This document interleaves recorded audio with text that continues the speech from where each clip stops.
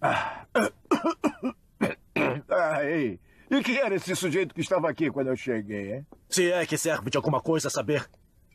Era Carlos Manuel. O marido da minha prima Débora. Ah, então tem uma priminha, é? Quando é que vai me apresentar, é? Por que não vai embora daqui, hein?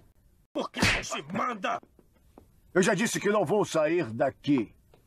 Até que me dê alguma coisa pelo meu silêncio. Eu já te prometi, agora vai embora. Sempre promessa!